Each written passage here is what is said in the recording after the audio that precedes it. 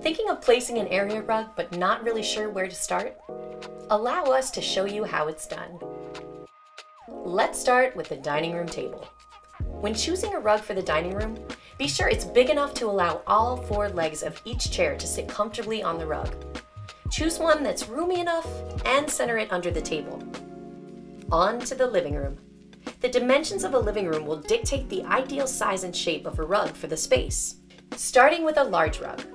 Choose an area rug that's large enough to fit all of the furniture on it. Make sure there's floor space on all sides of the rug so there's room to walk around it. Followed up by a medium rug. Place the rug partially under the sofa so just the front legs sit on it.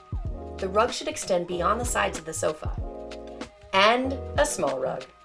Float a smaller rug 6 to 12 inches in front of the sofa. Keep all legs of the furniture off and positioned around the edges of the rug. Now, the bedroom. The most important factor in selecting the right size area rug for the bedroom is the size and placement of the bed. First, lay the rug underneath the bed, but perpendicular to it.